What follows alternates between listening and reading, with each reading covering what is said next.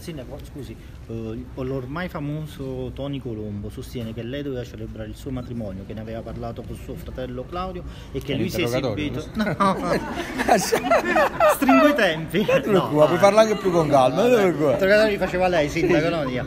E che praticamente lui si è esibito anche in manifestazioni elettorali per lei. Lo so che mh, purtroppo devo dire, invece di occuparsi in modo preciso e analitico di tante cose importanti che stiamo facendo, noi tra il bilancio, salvare le società partecipate, dobbiamo intervenire praticamente quasi a difenderci, quando invece, caro Di Costanzo, vorrei farvi cap- comprendere... tutto, Sì, sì, sì, farvi comprendere, cosa mi fai rispondere Sì, sì, per favore? Se mi fai rispondere che le persone forse che subiscono un danno in questa vicenda sono le persone che ogni giorno eh, lavorano con fatica per questa città. E io piuttosto mi interrogerei come mai questa ricerca spasmodica di trovare nella città, nel suo popolo e in chi l'amministra il colpevole. Salvo che non ci sia stata una legge di questi giorni, sposarsi non è vietato a Napoli, no? Posso fare pure anche io questa è domanda? No, no, aspetta, No, un attimo, io devo rispondere come ritengo. ci La domanda viene fatta come ritieni, la risposta viene fatta come ritendi. Se vuoi farla tu la risposta, allora eh, eh, la faresti meglio di me, però io sono quello che risponde. Sposarsi è un diritto per tutti. Quindi noi abbiamo fatto sposare Tony Colombo come si sposano decine di migliaia di persone nella nostra città. Si sposano borghesi, principi, aristocratici, neomelodici, cantanti, eh, pregiudicati penali, si sposano di tutti. Io non ho sposato Tony Colombo e non ho mai pensato di sposare Tony Colombo.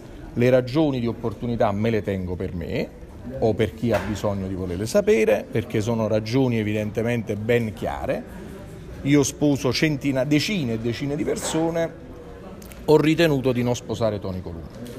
L'amministrazione comunale che con tutto questo fango che si sta cercando di buttare, e non parlo del sindaco perché io non ho nulla di cui dover rispondere, lo faccio solo per cortesia nei confronti di una domanda di un giornalista corretto, quindi rispondo, altrimenti veramente non avrei nulla da rispondere perché il sindaco non vedo che deve dire.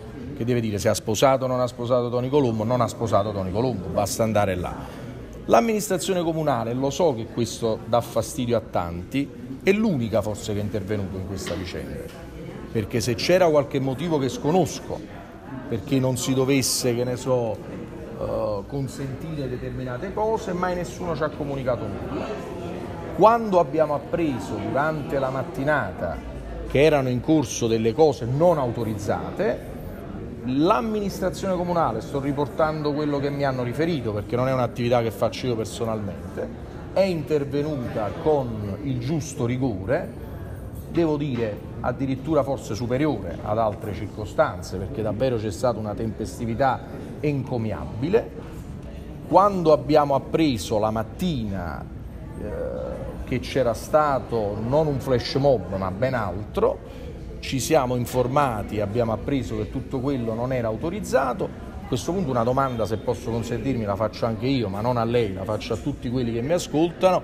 Voglio sapere anche io come mai nessuno ha visto niente, sinceramente. Se io mi fossi trovato a passare casualmente da quelle parti me ne sarei accorto, è un po' curioso che nel giro di pochi giorni una zona la più presidiata di Napoli, la zona più presidiata di Napoli, in cui c'è il palazzo del governo, vorrei ricordarlo, si è passato dal- da una mitragliatrice e da colpi di pistola senza che nessuno ha potuto fermare quelli a montare un palco, non so da che ora, non spetta a me stabilirlo perché purtroppo eh, le domande le facevo in un'altra vita, adesso non le posso più fare, però da sindaco la faccio. Cioè sono io interessato perché siamo noi parte danneggiata di tutto questo.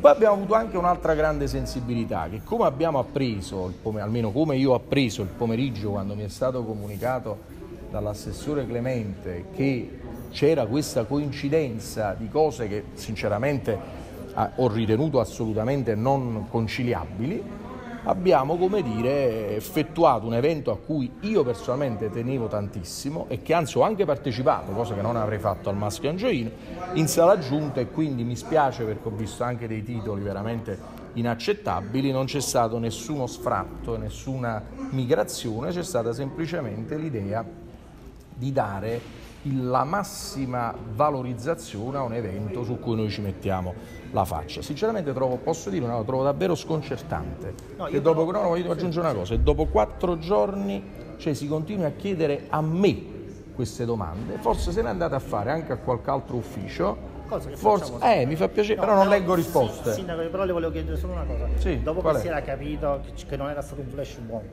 dopo che c'era, uh, si era capito che questi avevano fatto anche questo corteo al corso secondigliano e tutto, non era possibile bloccare il matrimonio maschile in gioino? Glielo chiedo. Parlatene con chi di dovere. Grazie.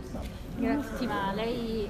E sapete che è di dovere, ve lo devo dire. No. Penso che lo sapete. Ha, ha indicato anche la prefettura. Che... No, sapete chi sono, sapete il ruolo del sindaco, sapete il ruolo del prefetto, del questore e delle forze di polizia soprattutto perché le violazioni amministrative per strada non le accerta il sindaco. L'unica cosa che io mi sono appurato di verificare è se i nostri uffici hanno autorizzato o meno, che non è il sindaco, ripeto, io qui è una cortesia che sto facendo di rispondere. Altrimenti voi andate dai dirigenti preposti, dai comandanti preposti, dagli uffici, no, non è che perché altrimenti si configura, capisco che c'è un obiettivo no, no, di colpire il sindaco e quindi lo comprendo, però io faccio una risposta diciamo precisa. Io da, ovviamente da sindaco sono parte danneggiata dal fango che mi state quel... buttando addosso. No, no, la città che è danneggiata, eh sì. volevo dire. Anche cioè, il sindaco, anche il sindaco per... rappresenta la città. la città, il sindaco e il popolo. È danneggiato da, e, del favore che è stato fatto a certo. Tony Colombo da chi ci ha dato tutta questa pubblicità. Questo poi è la cosa che più mi fa sorridere questa pubblicità mediatica, credo che darà sicuramente farà in modo che Colombo farà una medaglia a tutti quelli che lo stanno facendo arrivare a 30 milioni di visualizzazioni.